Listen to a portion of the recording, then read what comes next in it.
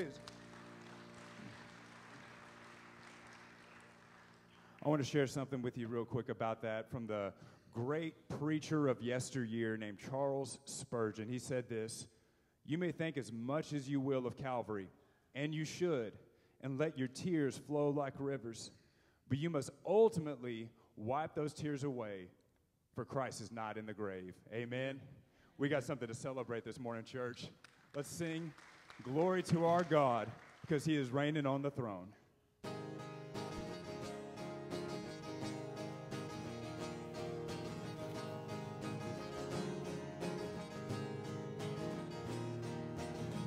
Before the world was made, before you spoke it to be, you were the King of kings, and you will always be. Above all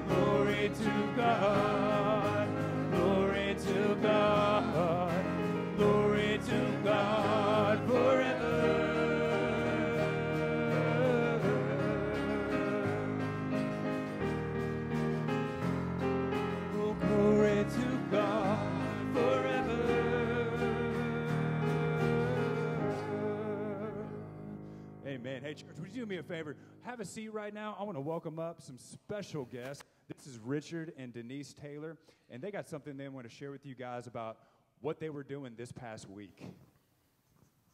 Um, it was my honor and privilege to be able to go to uh, Acuna, Mexico with a great group of people. Allie headed everything up. She's amazing. Matt as well. We have a uh, awesome group of youth. If you didn't know that, they work. They don't camp out on their phones. They, I mean, they do get on their phones. As all of us do, but they work from 7 a.m. till whenever we decide to stop uh, cooking dinners, leading devotionals. Um, they are our future, and we have a very bright future here at South Park. Um, by going to Mexico, I'm so humbled at what I have and what they don't, but their faith is still buckets and buckets and buckets more than anyone here. They may not have much, but they are appreciative for what they do have. Um, we're going again next year. We already told them what day was it? Wednesday, Thursday. We're going back. Hold us a spot. Um, dirty every day. There was a horrible sandstorm the last day, and I thought we were all going to get blown away. We all had a leg of the uh, tarp or the the yeah. we all had a, a arm on trying to hold the, the tarp, not tarp, but little pavilion to keep it from blowing away. Um, the family was so appreciative. They made amazing meals. We had homemade tamales. We had fideo. Uh, what else did we have? It was all good. They brought us drinks. Um, uh, Sonia and Celio? Cirilio. Uh, got in there with us and did stucco, and he did walls, and he just pitched in, and his wife made amazing meals. Um, it's we have so much. The house that we built was the size, the whole house was the size of the balcony where the seats are on the left hand side. The whole house was 200 and something square foot, and there was going to be three rooms. So my bedroom's bigger than their whole house, but they appreciate everything they have. And it's just humbling to be able to go and give and work and how much they appreciate it, and they let you know how much they appreciate it. So it's a privilege to go and to serve. And I, if you have, if you want to go and you keep saying, no, I don't want to do that, we did that last year. Um, do it, step out of your comfort zone and do something you haven't done before. You will definitely be blessed by what you do, what you see. I didn't know most of the youth. I now all know them first name basis, hugs, um, amazing people. Uh, I don't know if Roz Thurman's in here today, but that lady works circles around everyone. She's amazing. So, I mean, we all worked, we all pitched in, we all worked together. There was no fussing, no fighting. Hey, can you help? Sure, no problem. So, it was an honor and a privilege to be able to go.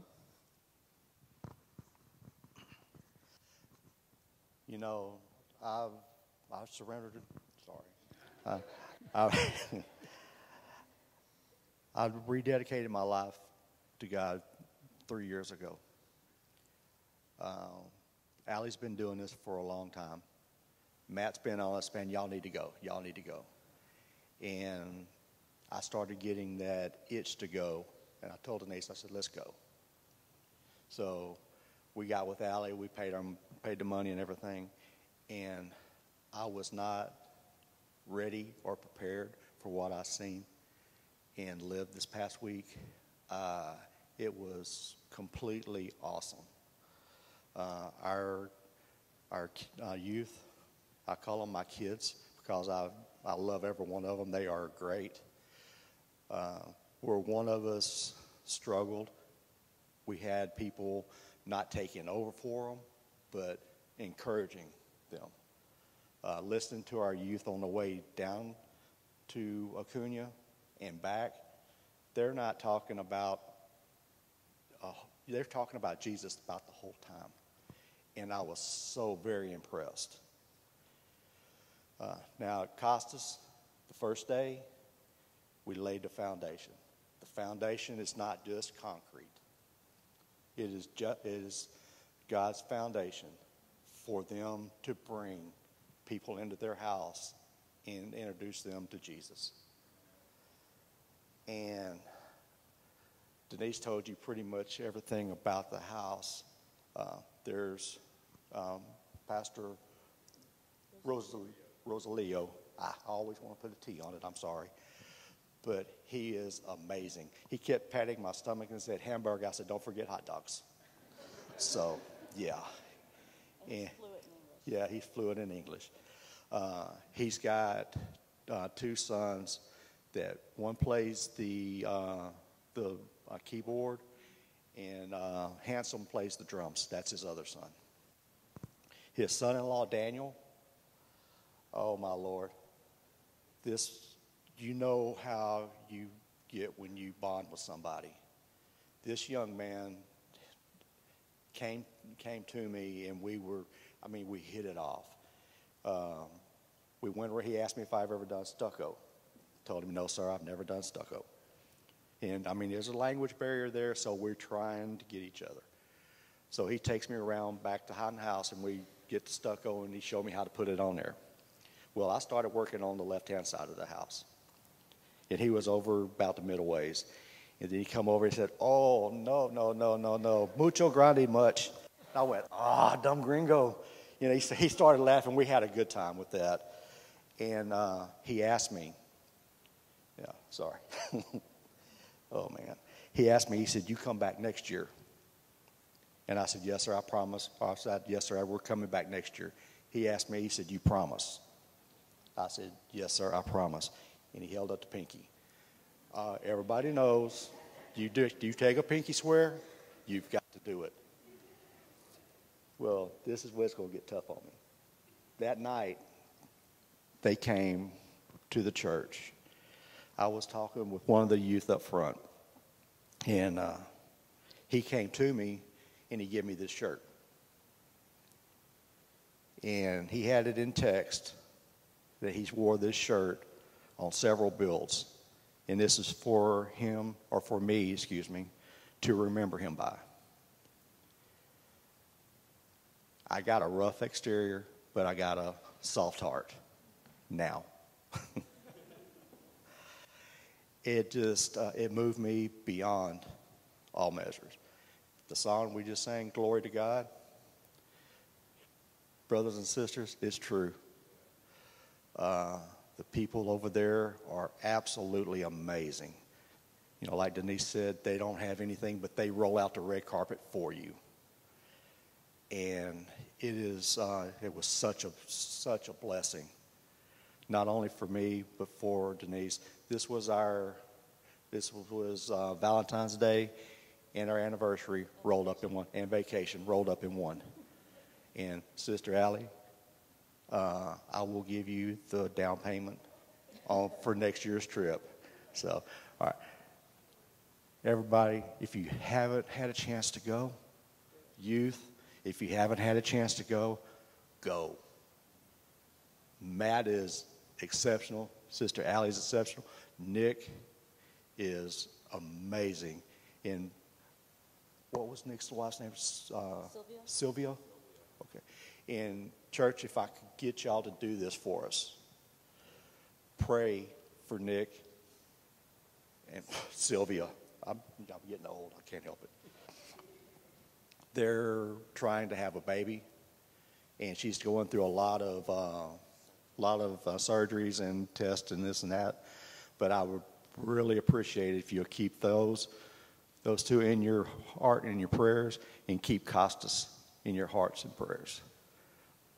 And uh, if you get, like I say, I mean, I don't mean to beat a dead horse, but if you get the urge to go, don't don't uh, let the urge go away. Go. Thank you.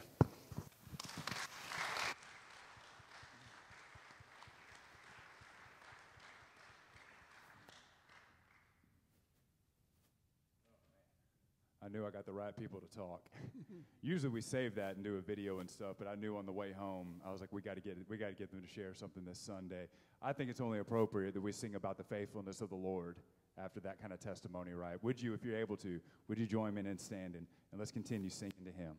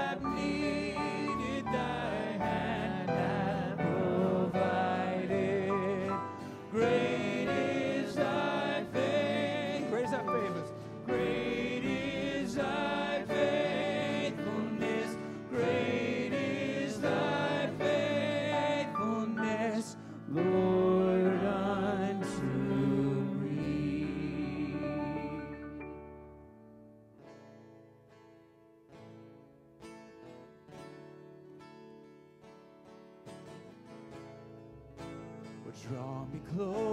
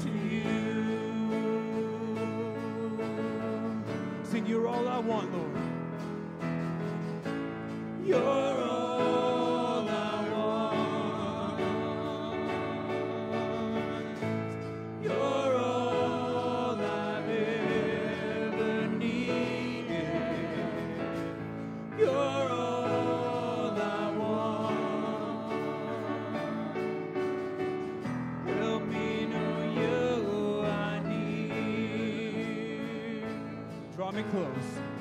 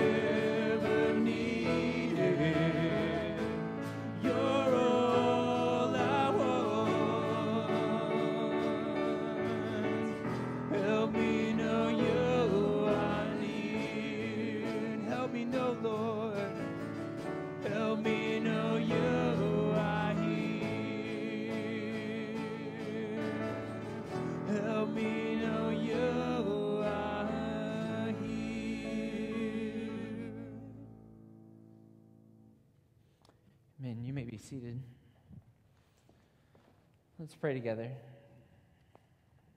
Heavenly Father, uh, may that be our heart's cry. May we seek after you and you alone. And Lord, as your word says, when we seek you, you, you let us find you. So, Lord, may we seek you and may we find you today. It's in Jesus' name we pray. Amen.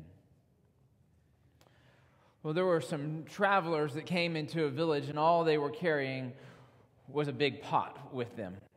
And they asked the, those in the village if they could have something to eat. And everybody in the village turned them down. Nothing to eat from anyone. So they took their pot and they set it down by the river. They filled it up with water. Then they found a large stone and they placed it in the pot. And they went and set a fire and started cooking and boiling the water with the stone in it. And after a little while, one of the villagers came by the road and looked and said, What are you doing? I said, Well, we're making stone soup. It's almost ready. It's going to taste amazing, but it's just, it's missing a garnish. And so the villager said, Well, I've got some carrots. And so he came and he brought some carrots and they cut them up into the soup. And then along came another villager, and the same story happens again. He said, Oh, I have some seasonings. That will help your soup. And added that to the soup. And along came villager after villager till there was this amazing, hearty, wonderful pot of soup. And everybody gathered around and enjoyed that soup with one another. But when it comes to God, we don't have to make stone soup. We don't have to trick, connive, manipulate God into giving us what we need. He graciously, generously wants to give us everything that we need in life. So when we come to Matthew chapter 7, we find that Jesus continues in this Sermon on the Mount, and he teaches us about prayer. As he does in verse 7, he begins by saying, Ask, and it will be given to you. Seek, and you will find. Knock, and it will be opened to you. For everyone who asks receives, and the one who seeks finds. The one who knocks, it will be opened. Or which one of you, if his son asks him for bread, will give him a stone? Or if he asks for a fish, will give him a serpent? If you then, who are evil, know how to give good gifts to your children, how much more will your Father who is in heaven give good things to those who ask him? So, whatever you wish that others would do to you, do also to them, for this is the law and the prophets. Uh, so, Jesus returns to talking about prayer. We got some teaching about prayer a little bit earlier in this sermon. We have the Lord's Prayer, but here Jesus begins to teach us more about prayer. A prayer that comes to God, comes to God for anything. Now, for those uh, of the Jewish faith, they saw this kind of prayer that we can talk to God intimately, closely, come to God with anything in our lives. They saw this reserved for those who were like super holy. That, was for the Abrahams, the Moseses, the Elijahs. Those were the ones who could come to God like that. And it's those that we put on the pedestal that can go to our Heavenly Father.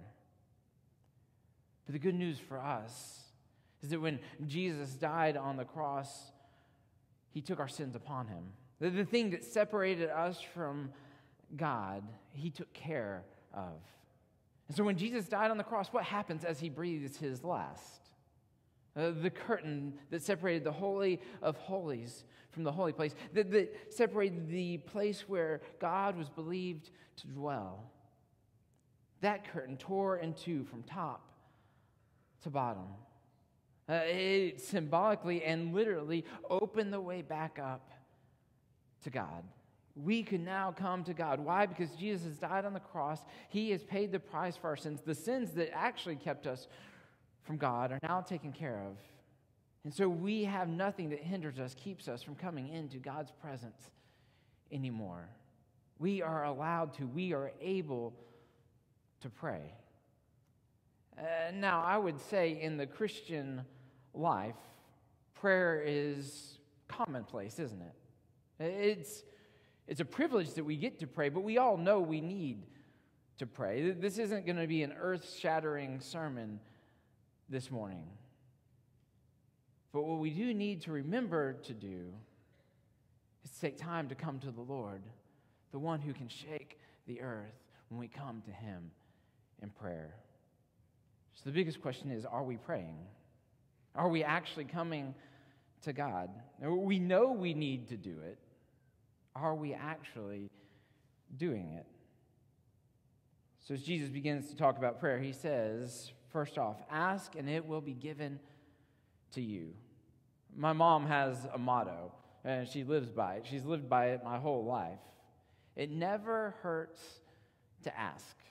What's the worst they could do? Say no. And she does that. And it has come in handy for her in her life. Uh, she has asked for all sorts of things. She gets the best deals at places. You know, all those places that say you can't combine offers? Like, you know, only one coupon? Well, not for my mom. Uh, because she asks and she, she gets, I think they pay her to buy clothes sometimes. Uh, it, it's ridiculous. And so sometimes embarrassing, right? But she is not afraid to ask. And that's what God's t- telling us here. That's what Jesus is telling us. We should come to the Father that way. We should not be afraid to ask. We should come as a child to a parent. We should come as a creation to our Creator. We should come to a God who desperately wants to answer our prayers and ask Him anything, ask Him everything. So, do we come to God and ask? And so sometimes we can come to God and we can ask for prayer requests, and we'll get to those in just a minute. That is definitely part of what Jesus is asking here. Uh, but do we come and ask God the hard questions sometimes, the difficult questions, the why questions? Why did this happen? Why are you allowing this to go on in the world? Do we ask God those questions? Are we a little bit uncomfortable with those questions. You see, th- those questions of God, what is happening? Why, why, is this going on? Why is there evil in the world? The hard questions in life, uh, those questions come when we have relationship with God, when we've built a deep relationship with God. Uh, those aren't the first questions you ask of somebody, right? So if somebody came up to you and introduced themselves, Hi, my name is John, you say, Oh, well, nice to meet you, John. What do we do with all the suffering and the violence in this world around us? Anybody greet somebody that way? Is that the first conversation? You, no, that's not the first conversation you have with somebody. When we get to know somebody, then we're able to have those deeper, harder conversations once we have a relationship that can handle it. So, the point here is we need to be able to have a relationship with God where we spend enough time with Him that when the difficult times come, and the difficult times will come, that the relationship's ready for those questions. That, that instead of running from God in difficult times, we run to God in difficult times. And then we are able to ask Him those questions of why, and we are ready to hear His answers as well. Because ask and you shall receive. God does have answers to our difficult questions. The psalmists, uh, all through the psalmists, I could have probably picked any number of them this morning. Uh, they love to ask God difficult questions. So we get to Psalm chapter 13 this morning. And we see just one example of these hard questions that the psalmist ask. In this case, it's David. In Psalm chapter 13, we read, How long, O Lord, will you forget me? Forever? How long will you hide your face from me? How long must I take counsel in my soul and have sorrow in my heart all the day long? How long shall my enemy be exalted over me? And we don't know exactly when in David's life he wrote this psalm, but we can imagine the times in David's life where he must have felt this way Saul is coming murderously after him. His own son, later in his life, comes and takes his throne and sends his father running in that same wilderness as well. David experienced those coming after him. And so he brings these questions, these prayers to God. Verse 3 Consider and answer me, O Lord my God. Light up my eyes, lest I sleep the sleep of death. Lest my enemies say, I prevailed over him. Lest my foes rejoice, because I am shaken. But I've trusted in your steadfast love. My heart shall rejoice in your salvation. I will sing to the Lord, because he has dealt bountifully with me. You'll notice there, right before verse 5, there's a shift, isn't there? David goes from asking these questions of God to seeing God's response, to seeing God's faithfulness, to seeing that God is with him even in these difficult times, that he does not have to go through it alone as he felt at the beginning, but that God is truly with him with his steadfast love and his salvation and his presence in the end. When we come to God with our questions, he, gives us answers. Ask, and it shall be given to you. Uh, now, this also goes with what we would typically think of as intercession the, the, things where we ask God for things for other people, we ask God for things for ourselves. Uh, we come to God with our prayers, with our requests. And, and that is definitely a part of prayer. Uh, now, when we talked about the Lord's Prayer, we said, you know, that wasn't in the Lord's Prayer. But here, when Jesus comes back to prayer, he definitely asks us to ask him for things. He wants us to come to him. And now, the problem is sometimes we treat this like, like a cosmic blank check. I ask God for anything I want, and he is obligated to give it to me. It's the genie in the lamp. I got my three wishes. Whatever I wish for, God's going to give me. Is that how it works? I want a bigger house. I want a better car. I want a better paying job. Is that what God has to give us? Well, no, that's not what's going on here, is it? Uh, James helps us out with this. James chapter 4, verse 2. Uh, James talks a little bit about why we don't get what we want in prayer. You desire and you do not have so you murder. You covet, and you cannot obtain, so you fight and you quarrel. You do not have because you do not ask. Uh, so, the first problem that James, well, there's a lot of problems that James is addressing here. We can't get to all of them. But the first one is they're not asking. So, if we don't ask God for something, uh, we come and we see God's, God's not going to answer the prayers we don't pray. But then here's the bigger problem you ask and you do not receive because you ask wrongly to spend it on your passions. So the second part's probably the more important part here. We ask and we don't receive because we ask with the wrong motives. We ask selfishly for what I want and for what's for my passion in this world. Instead, what does God desire for us to come to Him? What's the attitude that we need to come to God in prayer? not for my own passions and for my own selfishness, but we should come to God in prayer seeking what He desires and what He wants and what His passion is in this world. And if we ask in keeping with what God desires, we will find that God graciously and gladly answers those prayers. And it goes with what Jesus really says next in this verse, doesn't it? Ask and it'll be given to you. Seek and you will find. So we need to ask, but we need to be asking in a way that is also seeking. Now, when we seek after God, it's the easiest game of hide and go seek ever. My kids uh, used to do this quite a bit. Uh, they would love to play hide and go seek. And they haven't done it as much lately, but uh, particularly they loved to play the game hide and go seek when I came home from work. They didn't wait for me to come in the door, give me a hug, say, Daddy, we're so glad you're home. No, many times when I came home from work, whew, they're gone. I'm like, Lori, where are the kids? Uh, and then we would have this fun conversation.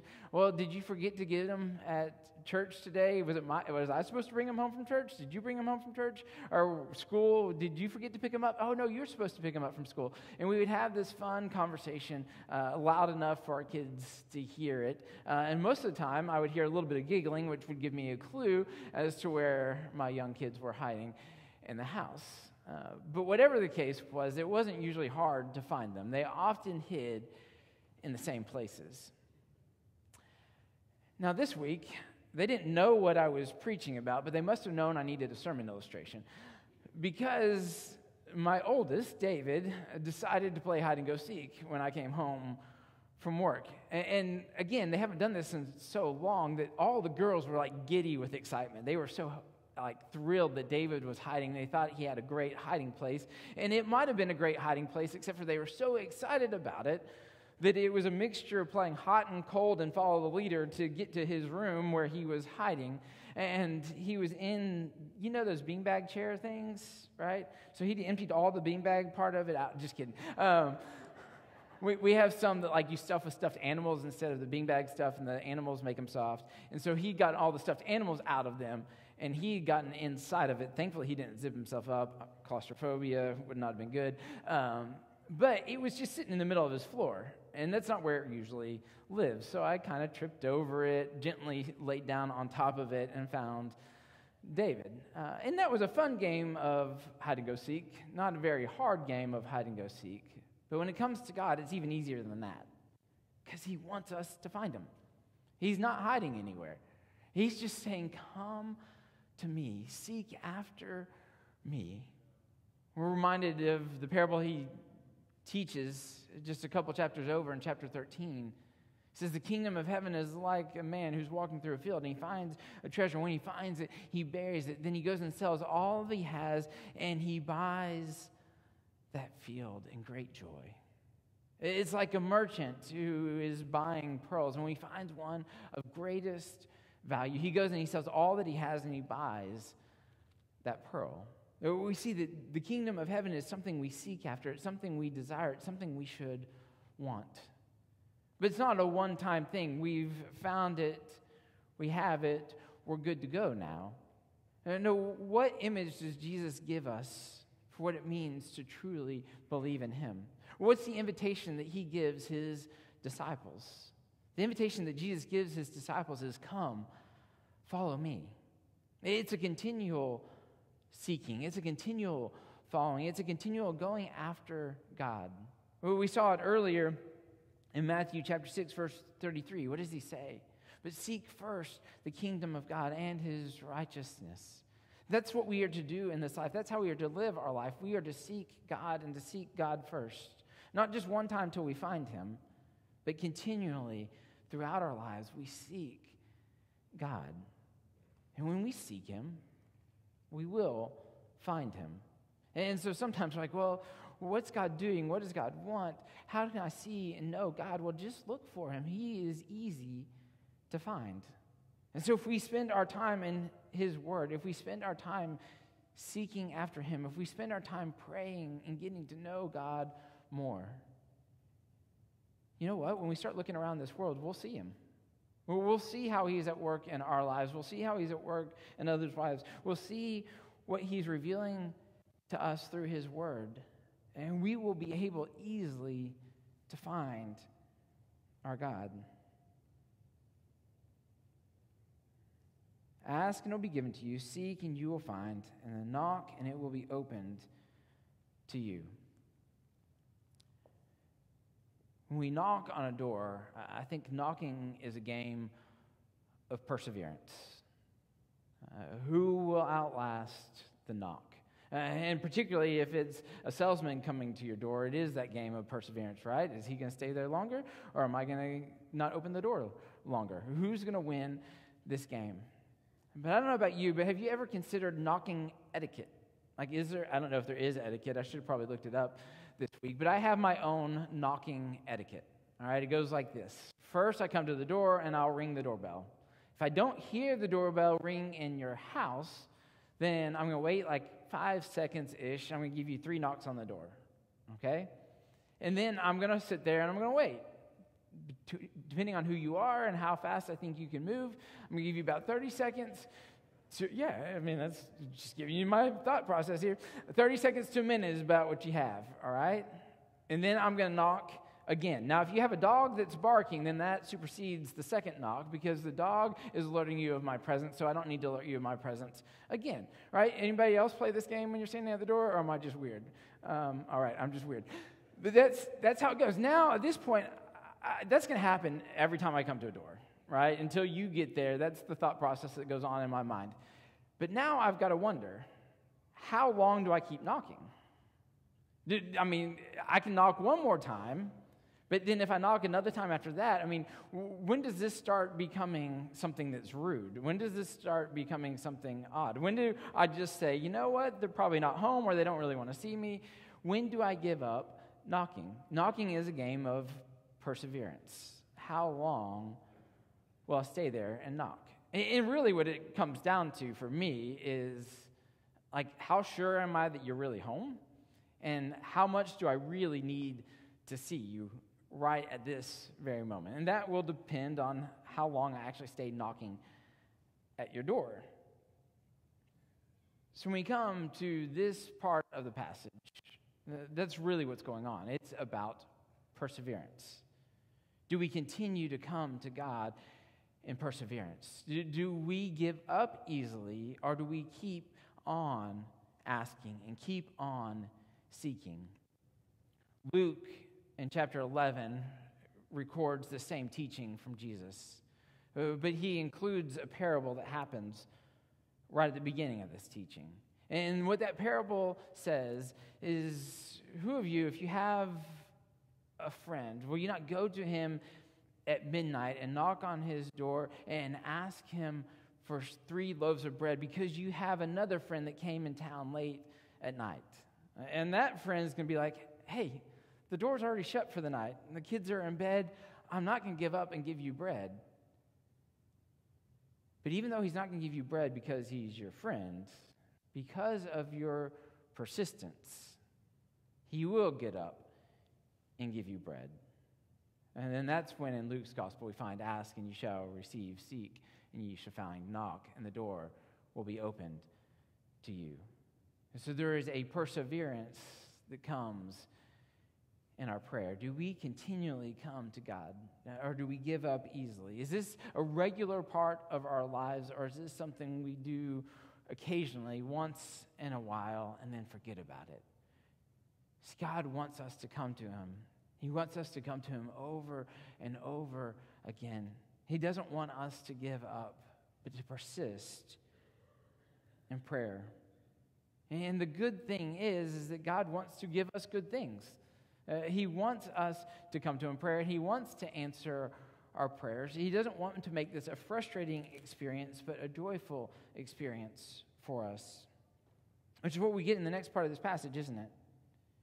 Because once we come to God and we seek Him and we ask of Him and we knock on the door, we find that He answers those prayers and then He gives us this parable, doesn't He? Who of you, when your son asks for bread, gives him a rock? Or when he asks for fish, gives him a snake? Right? Parents, you're not going to do that, are you? You're not going to serve your kids rocks for dinner. Now, your siblings might do it to you, but your parents aren't going to do it to you. Uh, actually, I was eating dinner with my older brother. Uh, we were in the same foreign country as last week's sermon. I think probably even the same night. Um, he lived overseas for a while. I was visiting him. And we were eating dinner at this restaurant, right? And I think it was pizza. And I, I chomped down on this bite of pizza. And he's like, Oh, did you get a rock? I was like, Yeah.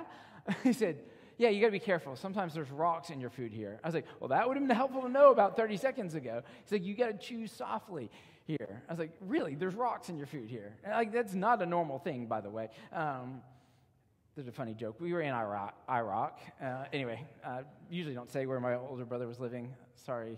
Yeah, I probably shouldn't have put that online. Um, but, uh, you know, there was a rock in my food. I was like, this is not normal. This is not what we should have in our food. This is not what we should have to worry about here. But what Jesus is saying is, of course not. No, we want good things for our kids. So, my kids this week were, we were making uh, gardens for our backyard. I was putting together kind of a border for the gardens to kind of contain the dirt a little bit. And so they collected all the sawdust from my saw as I was cutting the lumber to put together these boxes for our garden. And then they took that sawdust and they mixed it with water while we were working, and they made sawdust soup. Mmm, right? And, and they worked hard on that all afternoon. They worked hard on this sawdust soup. But when it came time for dinner, do you know what they ate? They ate what Lori prepared. Why? Because she wants us to eat good food. Uh, and her foods are going to be a whole lot better than sawdust soup.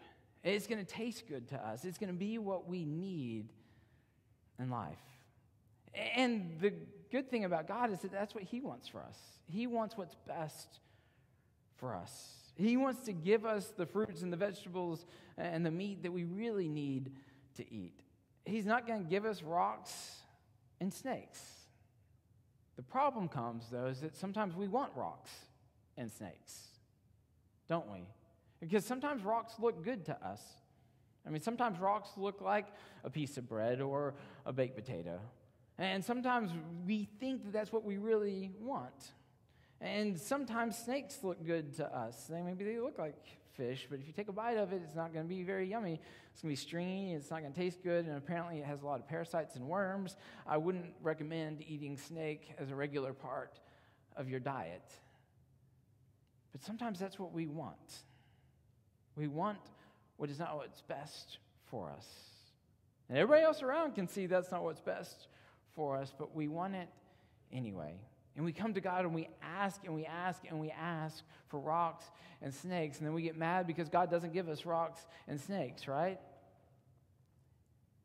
But God doesn't promise us to give us everything we want. And I don't give my kids everything they want. Instead, God promises us to give us what we really need. He gives us what's good for us.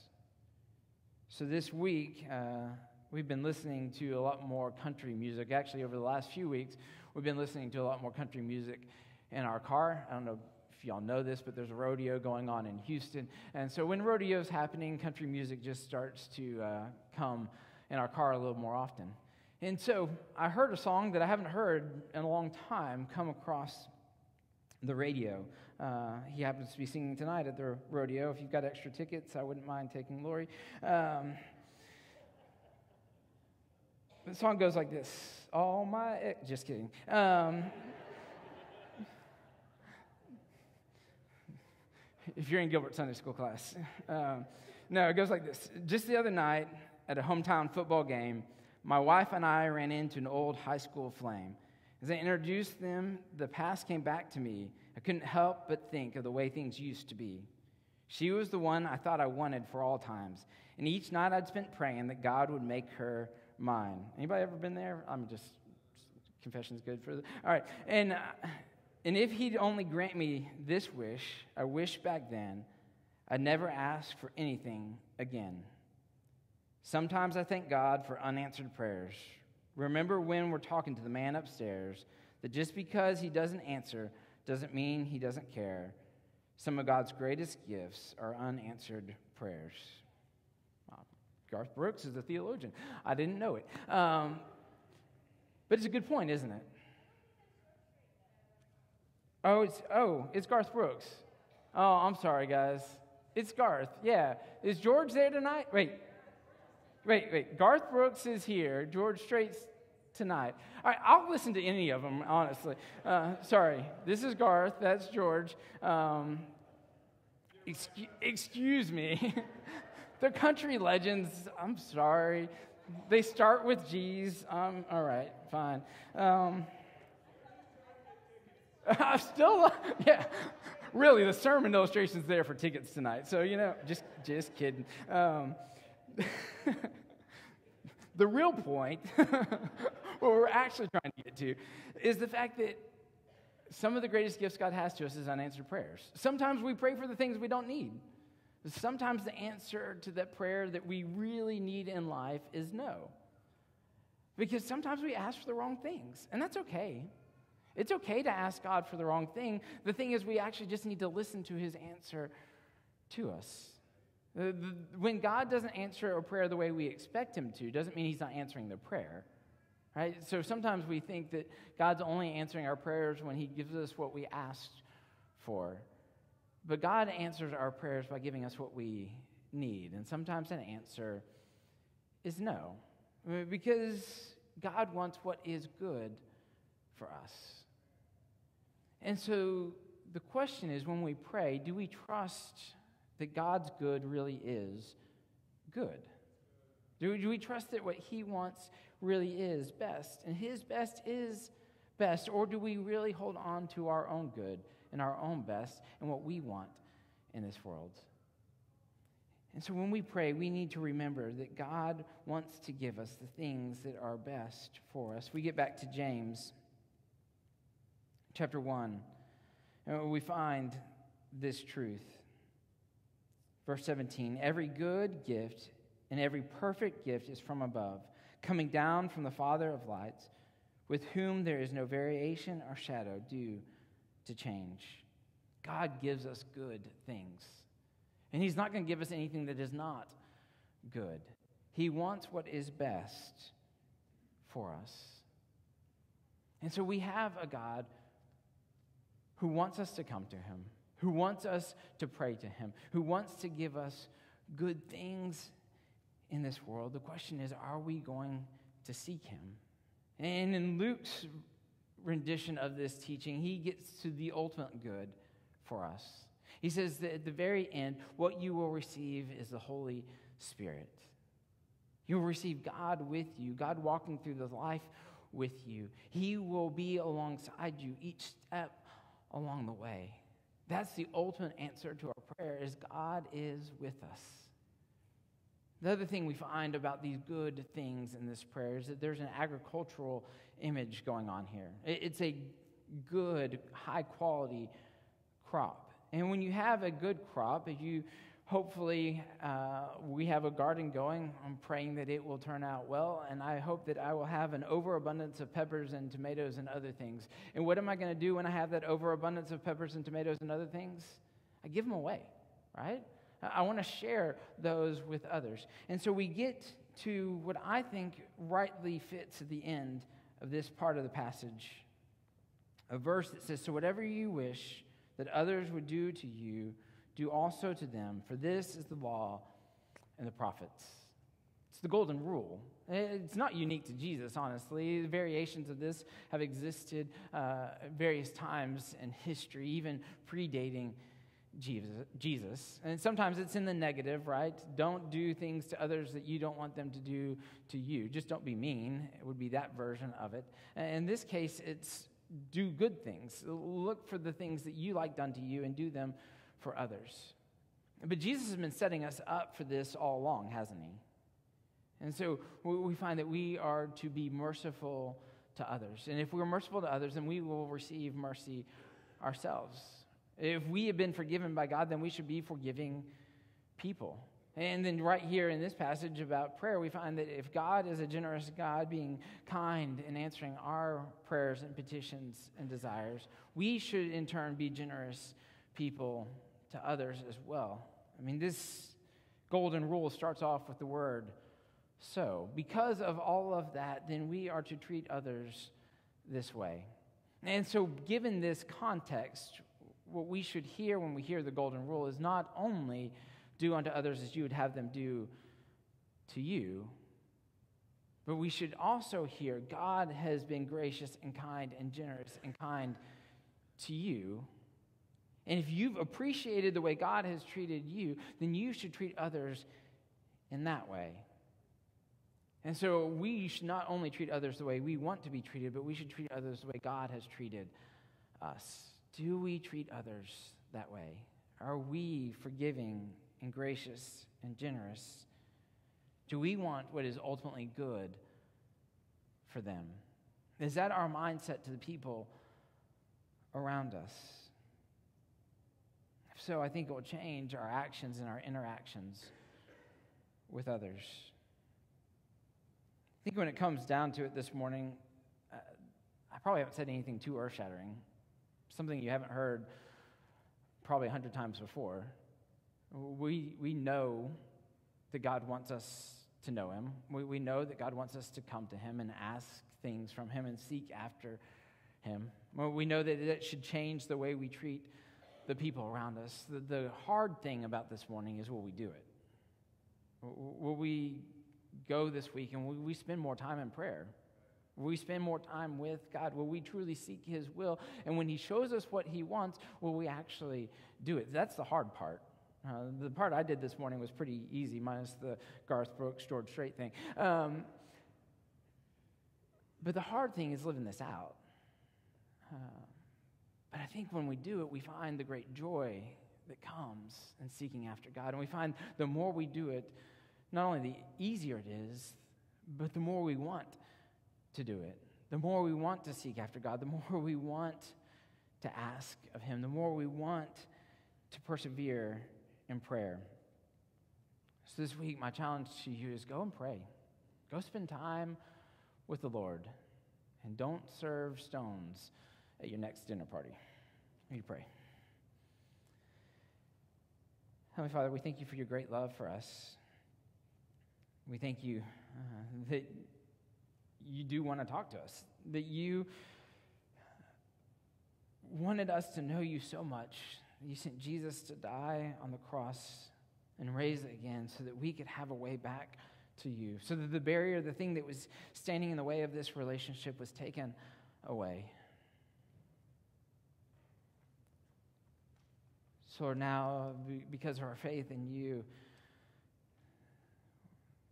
we're able to come before you. And so, Lord, uh, let's, let's not just take that for granted. But let us appreciate that. Lord, I pray that you will collectively give us desire to talk to you more, and a desire to seek after you. And, and, Lord, may what you said in this passage be true. May we, in return, hear from you. May, may we see you more. May we know you more. And may that change the way we treat the world around us. It's in Jesus' name we pray. Thank you so much for joining us for worship this morning at South Park Baptist Church. We're thankful you joined us online today.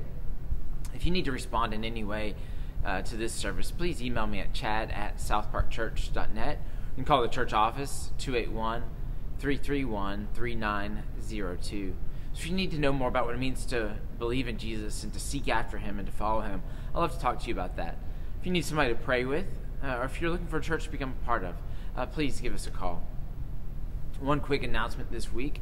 This coming Saturday, there's going to be a community wide fundraiser called Cookies for Kylie. Uh, it's going to support Kylie Taylor, who was in uh, a bad accident uh, a couple months ago. And that will be in uh, South Park's parking lot on Saturday morning from 9 o'clock to noon. Uh, have all kinds of baked goods, or if you just want to donate uh, to those medical expenses, you can do that at that time. If you'd like to donate cookies or any other kind of baked good, uh, you can bring those at 8 o'clock on Saturday morning, or you can uh, contact uh, Carrie Flores, Jackie Holting, or Jen Robinson, and they'll uh, collect those items from you as well. That cookies for Kylie will also go on Sunday afternoon right after church uh, so you can go, leave church on Sunday morning and be able to get some of those as well. Now, as you go, may the Lord bless you and keep you. May he make his face to shine upon you and be gracious to you. May he lift up his countenance on you and give you peace. Praise the Son, praise the Spirit, three and one, God